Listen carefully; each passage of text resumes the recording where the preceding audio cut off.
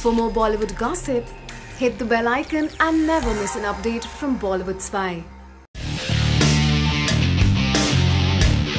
साई और मेगा के साथ भिड़ी स्मिता।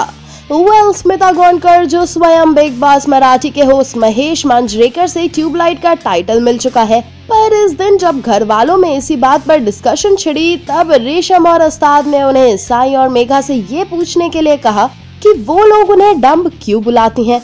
हालाँकि स्मिता पूरे भड़ास के साथ इन दोनों से ये पूछने पहुँची कि आखिर ये दोनों उन्हें डम क्यों बुलाती हैं?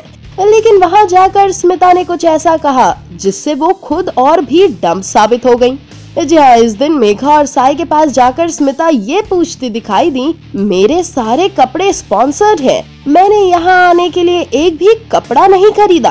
फिर मैं डम कैसे हुई? अब आप ही बताइए, साई और मेघा सही है या फिर स्मिता? तो वेल आपके इस बारे में क्या राय है, हमें बताइए नीचे दिए गए कमेंट सेक्शन में और बने रहिए बॉलीवुड स्पाई के साथ।